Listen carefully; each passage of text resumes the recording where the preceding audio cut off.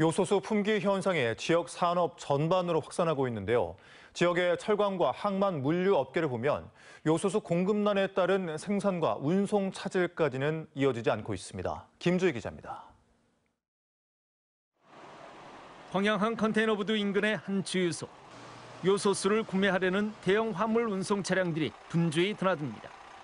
군이 비축해뒀던 재고 요소수가 긴급 공급되고 지역 산단 입주 기업에 요소수가 우선 공급되고 있지만 여전히 요소수의 안정적 공급은 어렵습니다. 장거리를 운행을 안 한다고 봐야지.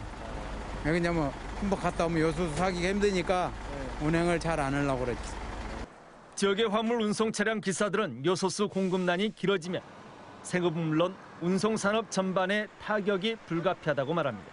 차를 매덕을 주고 사가지고 매달 들어가는 3, 400의 할부를 갚아, 갚아야 되려 그러면 매일같이 운행을 해야 되는데 저희들 손실도 있지만 이게 만일에 뭐 수출을 되는 물량이 제대로 공급이 안 되고 수입되는 물량이 제대로 공급이 안 되면 우리나라 경제에도 큰 타격이 있지 않나 싶습니다. 그나마 다행이라면 요소수 공급난이 아직 광양항 화물 운송 대란으로까지 이어지지는 않고 있다는 겁니다. 광양항에 하루 반출입하고 있는 컨테이너 차량은 5천여 대 수준. 요소수 공급난이 발생하기 전과 비교해 비슷한 수준입니다. 특히 터미널 내에서의 하역 장비 운용에도 차질은 발생하지 않고 있습니다. 부두 내에서 하역을 하는 장비가 reach stacker 등 어, 총 109대 중 10대만이 요소수를 사용하는 장비로 확인이 됐습니다. 그래서 현재 광양항 내에 어, 컨테이너 터미널에서 하역 작업은 큰 지장이 없는 상태로 파악이 되고 있습니다. 포스코 광양 제철소도 질소 산화물 저감 설비 20여 대 가동에 아직 차질은 없다고 말합니다.